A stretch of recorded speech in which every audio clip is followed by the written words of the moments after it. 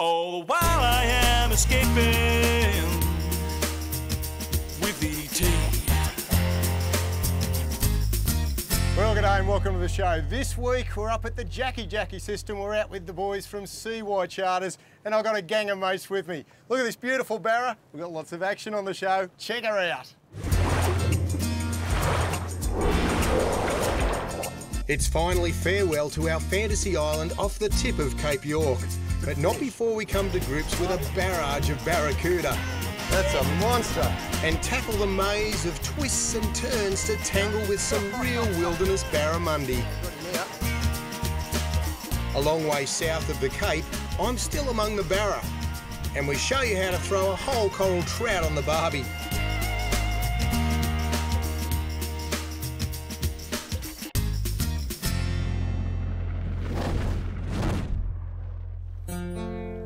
Off our halfway island camp, my mates Mick, John and Levi are looking forward to a big last day.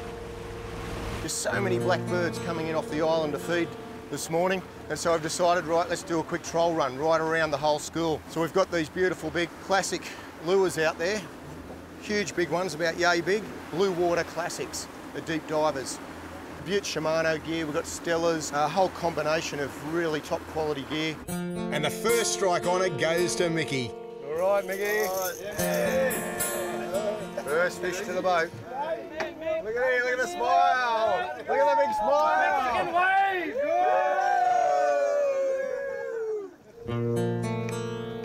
Yeehaw! Next on, it's John.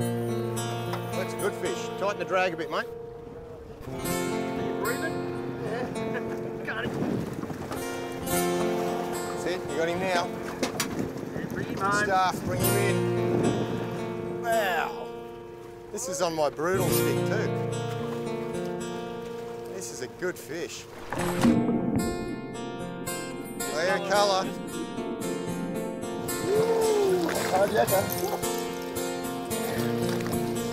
Yeah, it's a poodle. This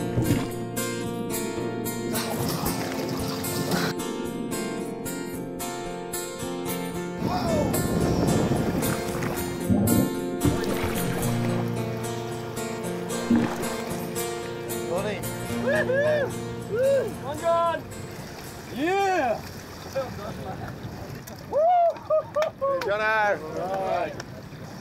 That's a monster. That's got teeth. Yeah, golly. Ah, Going back. yeah, he can go back. Oh, what a fish. What a fish. First fish of the morning. They are. Second fish. Wow. Head a little more way, that's about it. The Teeth on that thing. All right.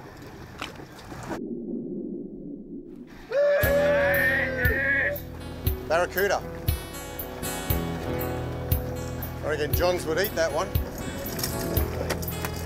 That's it, get the hooks out. Sells 360 these things. Now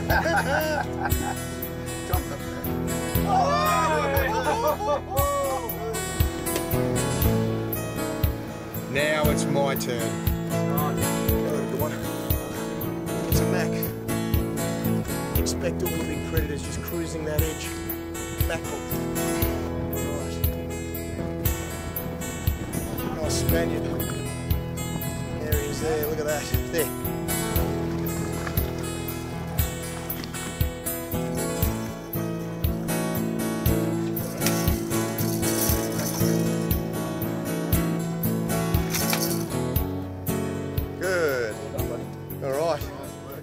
Catch one of these. Beautiful eating fish. Well done, skipper. So these are the lures we're using. These are the classic blue waters. They were brand new when we put them on. You can see all the teeth marks all across the body. Really good lure. Stays in the water at, at quite a good pace as well. John's got teeth marks on his shirt as well as his lure, and a hard fighting fish on to boot.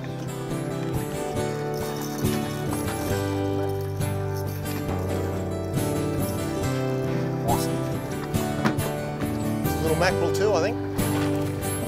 Yeah.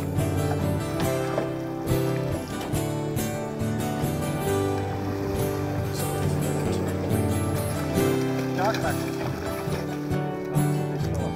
going for about an hour for a few barracuda, a few mackerel.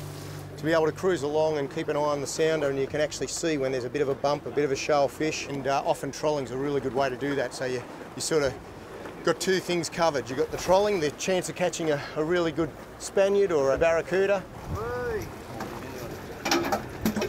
And then as we go over some really good ground, hammer up the front can just go bang and just put it in his plotter. We can come back to that spot later, anchor up and fish baits down deep. Yeah, baby!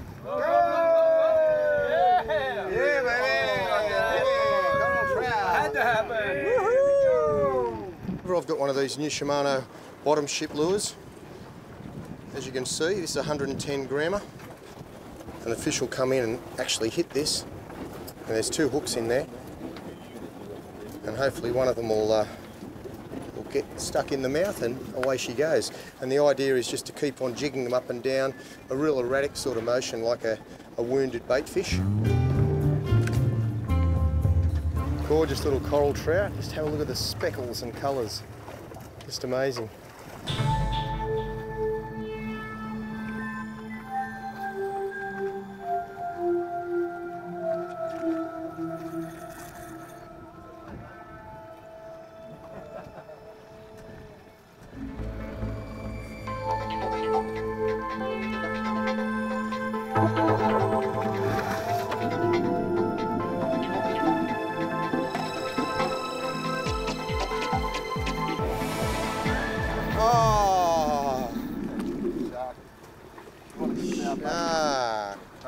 We hate those sharks. You're right.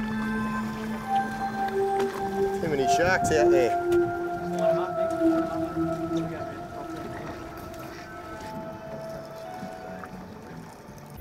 So that's an end to the fishing for today and the start of our last night camped out on our fantasy island.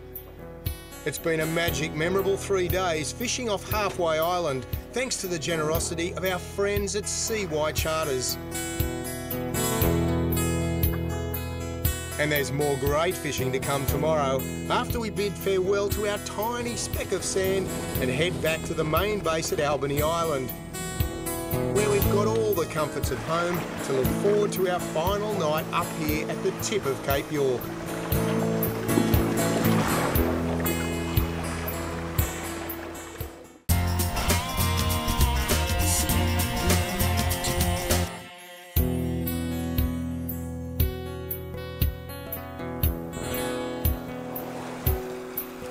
I love the top end of Australia. It's so remote and untouched. The fishing options are incredible. You can be out on the reef chasing GTs on poppers, trolling for mackerel, or bottom bouncing for coral trout. Or like what we're going to do today, with small rods like this, chase the mighty barramundi up the mangrove lined creeks. It's an awesome place. Travelling from Albany Island to Cape York's Jacky Jacky Creek system.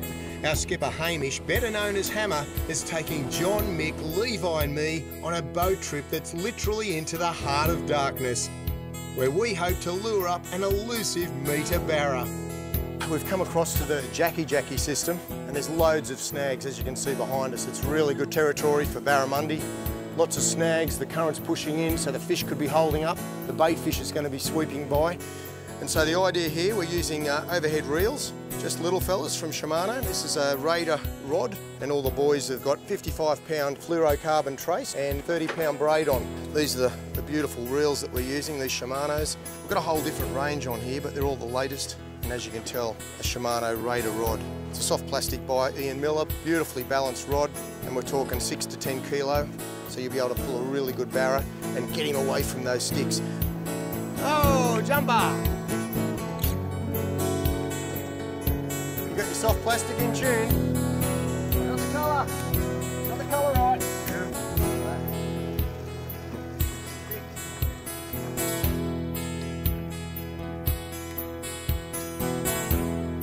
Barramundi, keep oh, him coming. Oh, reverse. Got him. Got him. Keep him, keep the pressure on him. Sticks. Keep the pressure on him. That's all right. Just give it a little shake and he'll come. It. Going well, mate, over the sticks.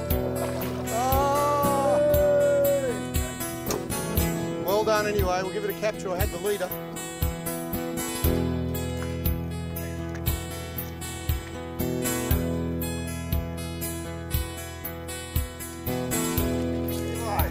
Get into him, mate. Wind down.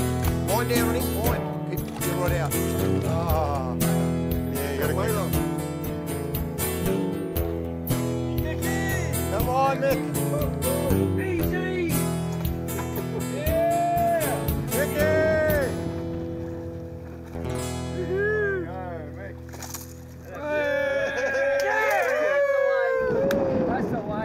Mickey! Well done, champion. That's a beauty. Yay, Santa Claus. Oh, that's great. Beautiful. Woohoo. All right, I've still got more to go.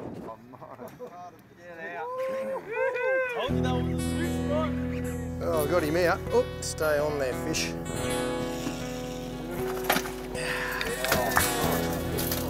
Yeah. The mighty Bazza, Barramundi. Go on. Off you go. Beautiful. Barramundi. Coming. Oh. Oh, I reckon. Yeah, he's in the boat. All right. All right, well, you want to slip him back in, mate? Well done. All right.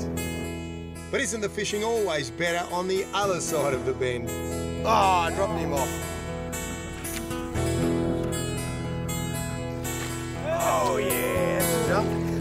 Let's go back to that snag. Oh. Back this way, buddy.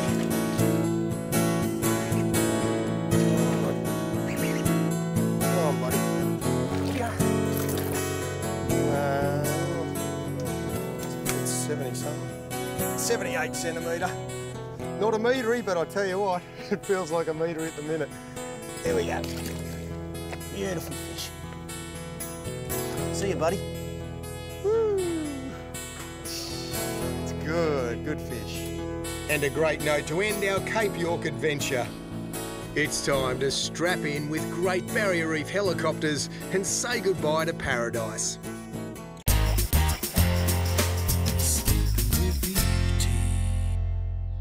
A long way down from Cape York and only about an hour's drive west of Bundaberg, this is about as far south as you can go and still catch a barramundi. And not just any barra. About five years ago, a world record 135 centimetre monster came out of these waters here at Lake Monduran. Now my mate Blake and I are having a go. This morning we've followed our guide, Rob Howe, been cruising up through Lake Monduran. Now Rob runs Guideline Fishing Charters and uh, he's renowned for big barramundi. And he doesn't take long to live up to his reputation this morning. Yeah, nice. Catch another one. We'll try to as well. As usual, I'm wearing my life jacket because you never know what could happen even in a scene as idyllic as this. Get into him. A start, mate. Start. All right. in the net. Oh, shooting up there. really go. Good stuff. And uh, that was perfect, mate. We've been pegging away there. How long? We've been there for I reckon 100 cars each. easy. like a thousand. It does feel like a thousand. But I It can. just goes to show you don't leave the spot. Exactly. Righto, you better slide him back in.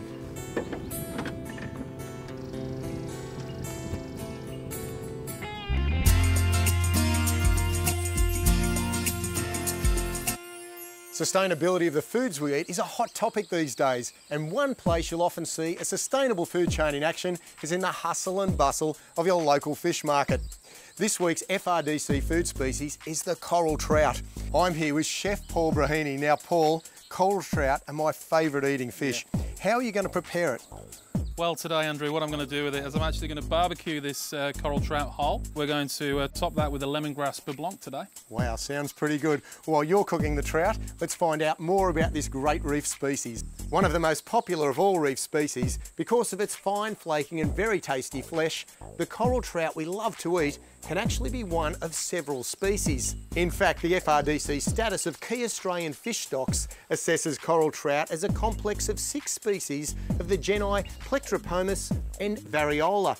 The only thing that I have left on here that I haven't trimmed up is this dorsal fin because that tells me when the fish is cooked. So if I can remove that just nice and gently, I know the fish is definitely cooked. So what I've got to do now with my trout is just season it with some salt and pepper and a little bit of olive oil. Coral trout are fished commercially from south of Brisbane all the way around northern Australia and down the west coast to north of Perth. Stock status is reported from five management units covering Western Australia, the Northern Territory, Queensland and a Commonwealth managed fishery in Torres Strait. The stock status is classified as undefined in three of the five management units where catches are small and there is insufficient information available to confidently classify the status. So now our trout's ready for the barbecue. They're classified as sustainable in the Queensland Coral Reef Fin Fish Fishery and the Torres Strait. Okay, so while the trout's uh, still cooking, I've got some white wine in here I've got some lemongrass and I'm going to put a pinch of saffron in there. What we're making is a, a nice beurre to go over the top of this. Okay, so what I'm going to do is just reduce this down by about two thirds. Then we're going to add a little bit of cream. And it's a thickened cream I'm using. So I'm just going to emulsify with a few knobs of butter and we just whisk it in away from the heat. Okay, so we're just going to check our coral trout now. There we go. The trout's perfectly done. So what I'm going to do now is going to dress with some chervil. So the chervil goes over the top of our fish. So now I'm going to just top with our saffron sauce. Some beans and some tomatoes through there. And there we go. Wow, this coral trout looks amazing, mate. Well done. Head to fish.gov.au for all the facts and figures and fishfiles.com.au for more information on cooking and eating this seafood delicacy. If you want to try Paul's barbecue trout recipe, head to escapewithet.com.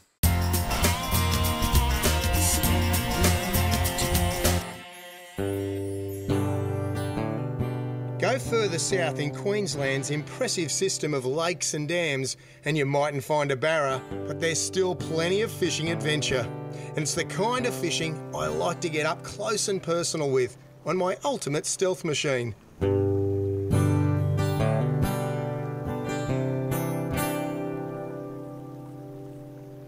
All you need is patience. Taken a while, but finally landed a bass. Oh, nice fish. Well, there we go. A nice long fish. But I had a few bumps along that edge there, so I'll slide him back in, see if I can catch another. See you, mate. There's a nice fish.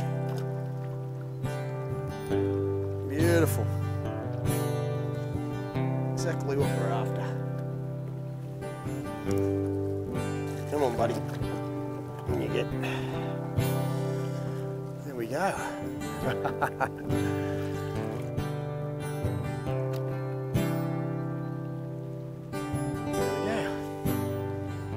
Gosh, they're a big, fat, healthy fish, aren't they?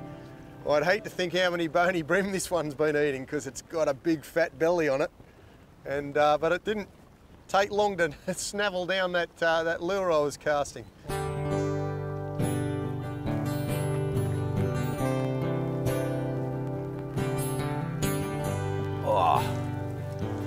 That's a nice bass. There we go. Beautiful. Great native. And uh, thousands of Aussies love to catch these and it's so good that they're stocking them in impoundments all the way through New South Wales, right up through Queensland.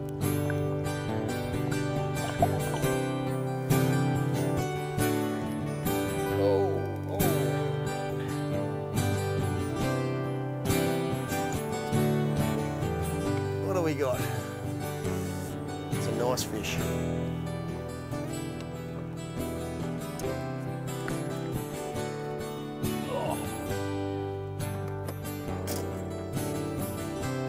Well, there you have it. Look at the yellow colours in this one. Wow, they're all around the same size, but got loads of weight in them. All right, keen to get going, this guy. Right, are you ready?